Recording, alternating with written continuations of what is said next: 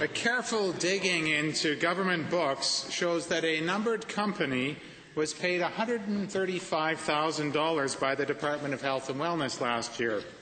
If you dig through a second layer of numbered companies, you'll find that the 135,000 went to a company 50% owned by the election campaign manager for the Minister of Health and Wellness.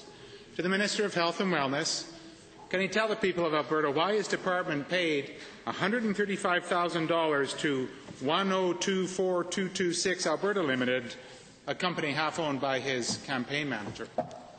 The Honourable Minister. I, I could only assume, Mr. Speaker, that he's referring to the uh, search that took place for the board members for Alberta Health Services, which was an open tendered competition.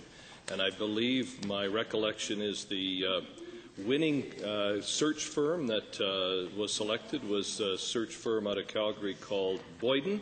And uh, one of the uh, partners in that firm is a gentleman named Brent Shervey who was my campaign manager. It was an open competition, and if the uh, member would like to uh, have sent over the documentation that we, we have, I'd be happy to supply it to him, Mr. Speaker. The Honourable Member. Thanks, Mr. Speaker. I'll take the minister up on the offer, so ship me the documents.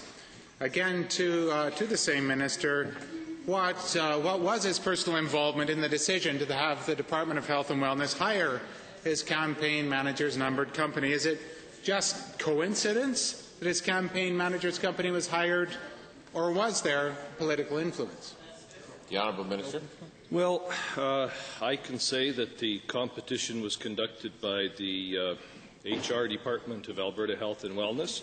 Uh, at the time they did the search, uh, they uh, asked me about uh, the, the, fact that this particular company had had uh, been the uh, successful bidder, and I believe the lowest bidder, Mr. Speaker, but I'll clarify that because I was not involved in the actual selection process.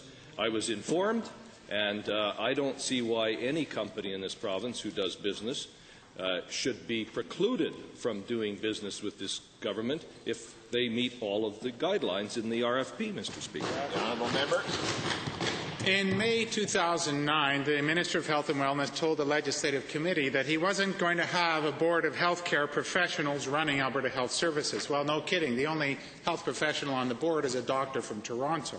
So, again, to the same minister, did he give direction to his campaign manager to avoid recruiting to the Board of Alberta Health Services any health healthcare professionals from Alberta, or is it just coincidence that it turned out that way?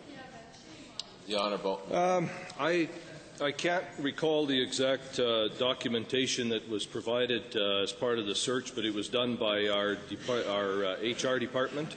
And uh, I'd be more than happy to give uh, whatever is uh, not privileged information to the member, and then he can go on his witch hunt, Mr. Speaker.